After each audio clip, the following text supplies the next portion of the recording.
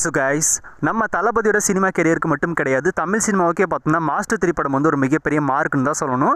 ஏன்னா இந்த பேண்டமிக் சுச்சுவேஷனில் ரிலீஸ் ஆயிருந்த மாஸ்டர் திரைப்படம் வேர்ல்டு வைடாக இரநூத்தி நாற்பதுலேருந்து இரநூத்தி நாற்பத்தைந்து கோடி வரைக்கும் கலெக்ஷன் பண்ணியிருக்கு. பட் படம் ரிலீஸ் ஆன டைமில் ஒரு சில வெளிநாடுகளில் மாஸ்டர் திரைப்படத்தை ரிலீஸ் பண்ணல. ஏன்னா அங்கெல்லாம் லாக்டவுன் போடப்பட்டிருந்துச்சு. பட் இருந்தாலும் ரிலீஸ் ஆன இடங்களில் மட்டுமே பார்த்தோம்னா வேர்ல்டு வைடாக இந்த அளவுக்கு கலெக்ஷன் பண்ணதே மிகப்பெரிய சாதனை தான். அது வெறும் ஃபிஃப்டி பர்சன்ட் ஆக்குபென்சிலே எந்த அளவுக்கு கலெக்ஷன் பண்ணியிருக்கு அப்படிங்கிறத இந்தியன் சினிமாவே திரும்பி பார்த்துன்னு தான் சொல்லணும்.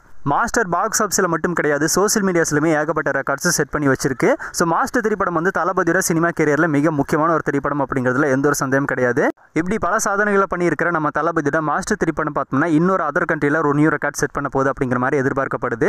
ஸோ எங்கே அப்படின்னு பார்த்தோம்னா ஜப்பானில் தான். ஆமாங்க நம்ம தளபதியோட மாஸ்டர் திரைப்படத்தை ஜப்பான் லாங்குவேஜ்க்கு ஏற்ற மாதிரி மொழி மாற்றம் பண்ணி படத்தை தேட்டர்ஸில் ரிலீஸ் பண்ண போகிறாங்க அதாவது சப்டைட்டில்ஸோட தேட்டரில் படத்தை ரிலீஸ் பண்ண போகிறாங்க அதுவும் பார்த்தோம்னா இந்த வீக்கில் நடக்க போகுது அப்படிங்கிற தகவல் வெளியாக இருக்குது அதுக்குண்டான போஸ்டர்ஸ் எல்லாமே ரிலீஸ் பண்ணியிருக்காங்க. ஒரு தமிழ் படத்தை ஜப்பானில் அவங்க லாங்குவேஜ்க்கு ஏற்ற மாதிரி சப்டைட்டிலோட ரிலீஸ் பண்ணுறதெல்லாம் சாதாரணமான விஷயம் கிடையாது.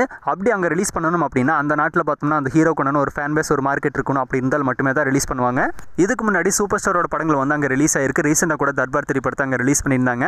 அதுக்கு அடுத்தபடியாக பார்த்தோம்னா இப்போ நம்ம தளபதியோட மாஸ்டர் திரைப்படத்தை ஜப்பானில் ரிலீஸ் பண்ண போகிறாங்க இதுக்கு முன்னாடியே மாஸ்டர் திரைப்படம் ஜப்பானில் ரிலீஸ் ஆயிருக்கு. பட் இருந்தாலும் இப்போ பார்த்தோம்னா ஜப்பான் லாங்குவேஜ்க்கு ஏற்ற மாதிரி சப்டைட்டிலோட அங்கே ரிலீஸ் பண்ண போகிறாங்க அப்படிங்கிறது தளபதி ஃபேன்ஸ்க்கு வேற லெவல் ஹாப்பி தான். ஸோ இதன் மூலமாக பார்த்தோம்னா அங்கே இருக்கிற எல்லா மக்களும் படத்தை பார்ப்பாங்க. அப்படி சப்டைட்டோட ரிலீஸ் ஆக போகிற மாஸ்டர் திரைப்படம் ஜப்பானில் என்ன மாதிரியான பாக்ஸ் ஆஃப் கலெக்ஷன் பண்ண போகுது அப்படிங்கிறத வெயிட் பண்ணி பார்ப்போம். ஸோ ஜப்பானில் வந்து நம்ம தளபதியோட மாஸ்டர் திரைப்படம் ரிலீஸ் ஆக போகிறத பற்றி உங்களோட ஒப்பீனியனை மறக்காம கமெண்ட்டில் பதிவு பண்ணுங்க. இன்னும் புதுசாக தளபதி ஃபேன்ஸ் யாராவது நம்ம சேனலில் பார்த்துட்டு இருந்தீங்கன்னா மறக்காம சேனலை சப்ஸ்கிரைப் பண்ணிக்கோங்க. தளபதி பற்றின அப்டேட்ஸ் மட்டும்தான் நம்ம சேனலில் தொடர்ந்து வரும்.